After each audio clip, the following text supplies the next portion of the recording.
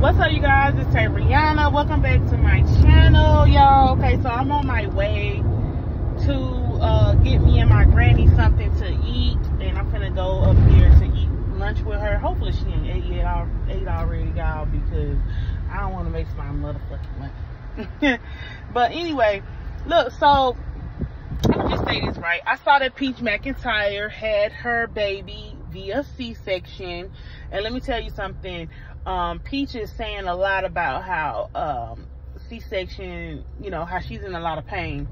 Girl, let me tell you something. As a woman who's been through two C-sections, I had my first daughter via um, C-section because of a failed induction.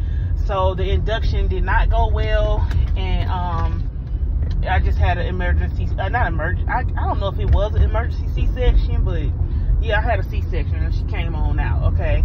My second child, I opted to have a C-section because I ain't, I'm not gonna go through the failed induction shit again. Like, that's just too much. Being in labor, like, I'm not that, I don't want to be in labor. I don't like being bothered. Like, the first, when I had the first induction, they they were so unorganized and it, it, it just it, to me it could have went left any other it could have went it could have went bad so i just decided to do a C-section again. So, um, let me tell you something. Uh, the C-section the second time wasn't that bad around. I did have um, some slight pain because I had a cyst on my ovaries that while she was while she was stitching me back up, she saw it and she was all like, "I'm just gonna go ahead and take that out." Um, that that incision right there on the ins, I guess right there, that was bothering me the most. As far as um my C-section, I stopped taking my meds like a week after the C-section, and I was up and walking and driving and everything. And I'm not saying that's that's the case for everybody, but um, C-sections are not hard. Um, it's been a, a, whole lot of the debacle that goes on with women saying, you know, hey, I gave birth to my kids vaginally and blah blah blah. Let me tell you something. I'm a we're gonna shout out to all the C-section mamas out there. Shout out to now Peach, you are now a part of the C-section mamas shout out to all the C-section mamas out there. C-section recovery is not fucking easy by far, okay? It is not easy by far. It is not easy. I'm gonna say that shit again. It is not easy to be a C-section. First of all, you need to call yourself a C-section survivor because a lot of women get on that table and don't make it off. Okay? A lot. So you are blessed and highly favored that you anybody are blessed and highly favored that you get off that you get on that table and you make it off because anything can go wrong as far as your spinal your spinal tap and things like that. You are blessed and highly favored if you make it out that C-section, okay? And um, C-section re recovery is different for everybody. Um, you know, the, the, thing that helped me, I wrote that on her short. The thing that helped me was compression socks, um, walking a lot. She's doing a lot of walking. You need to walk all the time. Don't sit down. If it hurts, go back to the doctor. If it hurts, call the doctor. Whatever's going on, if you feel sick or anything, do not hesitate to call the doctor or go to the emergency room post-op, okay? Take it easy. When you cough, sneeze, or shit, put a pillow over your stomach area. Put a pillow right here and hold it down.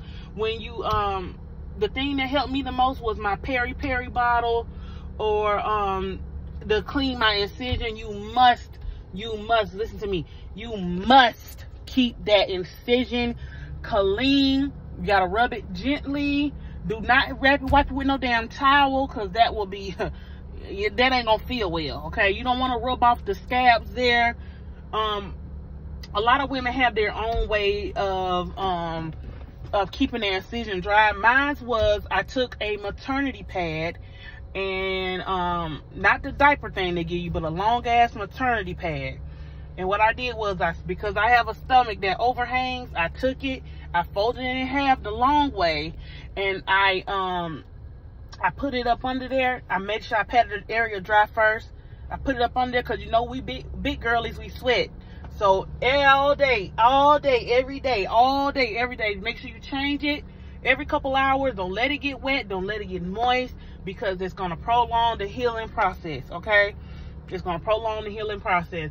But anyway, Congratulations on your baby, Peach McIntyre. Please take care of yourself during this process and tell Wood to shut the fuck up about how he don't know how you feel. A C-section is very painful. It's very painful. It's not easy. So like I said, shout out to all my C-section mommies out there because baby, we gang gang. We did that shit. We laid on the table and then you have to still take care of your baby. You have to still see about your damn baby. You don't get a damn break. You go home in a couple days, you got to still see about your other kids. You is a motherfucking warrior. You are a motherfucking boss, okay? Don't let nobody tell you otherwise. You done survived a C-section, baby. It is what it is, okay? It is what it is. I was scared my first one. My second one, I was like, let's get this motherfucker done. Get this motherfucker out of here. I'm fucking tired. I was fucking tired. Ankle swelling the fuck up. I still do deal with swelling every now and then um, because I'm so active. I always had swelling in my right ankle. Um, that was mainly on my my swelling came from because I worked all the way up until two weeks before I uh, had my C-section. And so, yeah, I had a lot of fluid buildup. Drink a lot of water. Take your postnatal vitamins do what you gotta do to make your healing make your healing process as easy as possible. And like i said congratulations. Welcome to the c-section mama gang gang. Um, no disrespect to any other women who um, had their baby vaginally because you part of the gang too because women lose their life having vaginal uh, vaginal deliveries as well. So yeah welcome to the game. You ain't new to this. You true to this. Okay? You gonna get over the C-section. The second um child, I had two kids. I ain't have no fucking mo. I'm not having no fucking mo. But if I were to get pregnant with a child again, it's C-section gang gang.